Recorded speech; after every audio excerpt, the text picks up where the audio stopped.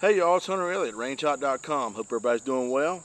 This afternoon, I want to talk to you about a relatively new pistol from Kahr Arms. This is the CW380. This one here in a tungsten finish on the slide. Actually, a pretty sharp looking little mouse gun, if you will. So, as always, the six round detachable box magazine is out. Slide is locked to the rear. Nothing in the chamber, so the little gun is safe to talk about. So this is basically your polymer frame, striker fired 380 auto. In a nutshell, that describes it. But there's a whole lot more to it than just that. The concealed carry market right now is thriving, which I think is great. I believe that anybody that can get a concealed weapon license should and carry your pistol everywhere you legally can and not only carry but train and practice and train and practice to gain a good solid proficiency of whatever defensive handgun you decide to run. The little Kahr 380 here is not a bad choice. So I've had this for a couple months now and we've got about 250 rounds through the gun of various types. Let's go over what I've learned over that time period, talk about what I liked, what I didn't like.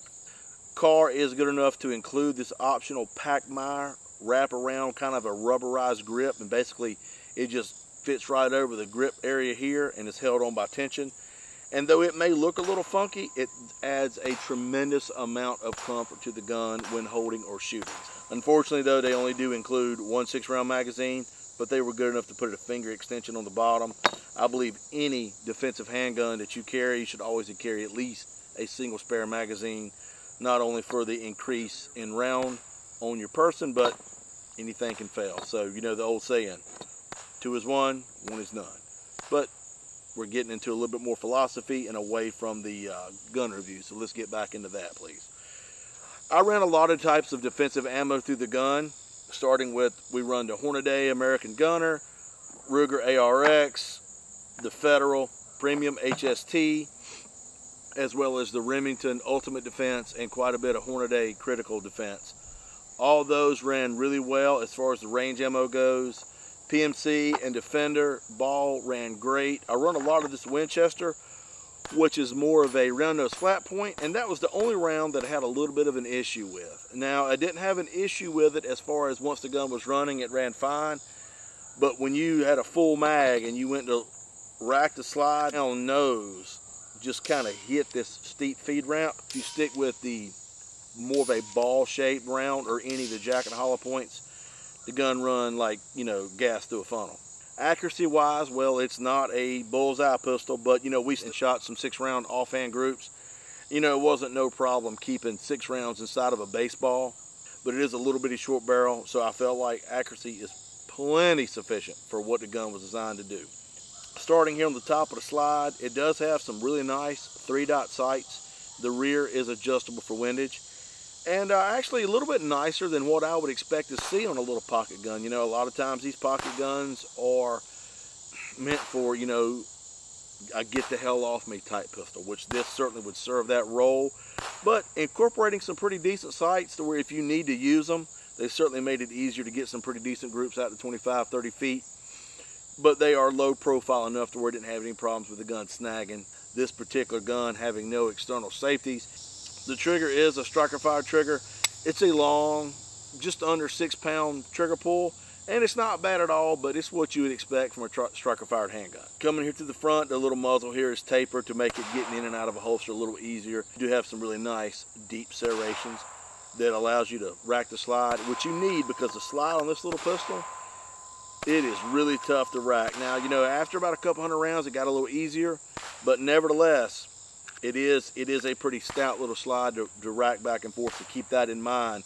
Uh, we could talk about the field strip. The field strip is basically you just run the slide, you know, here again, gun's clear. You know, run the slide to the rear, find a little takedown notch, and you got a little pin over here you push down, and it's, pin comes out, and you just kind of ride the slide home, that little recoil spring, and there's just the itty bitty cutest little barrel you've ever seen in your life.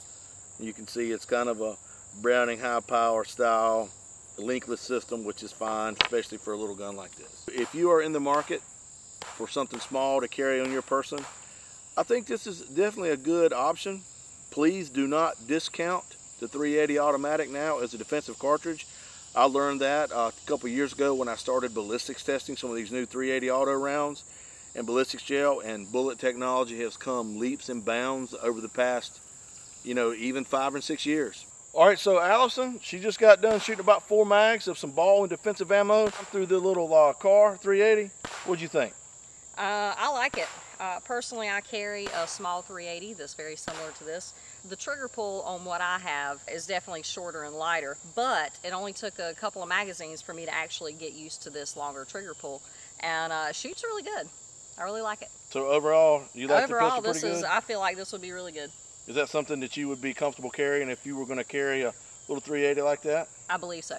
I really believe so. There you go. So we got a lot of different people shooting the gun all kind of different friends of mine of all ages and sexes, trying to get a cross section of what everybody thinks. It's Allison approved. As always, there will be a chart on rangehot.com that lists all the particular ammunition that we shot, as well as a lot more technical specifications of the little gun. If you've got some questions that I didn't go over here in the overview, please jump over to rangehot.com, read that. Any more questions, reach out to me and I'll be glad to help you any way I can. You can find us on YouTube, Instagram, Pinterest, Facebook, Twitter, the whole nine yards. So you can find me if you want to. Anyway, that's about it. So take care of yourselves and each other, and I look forward to seeing y'all at the range.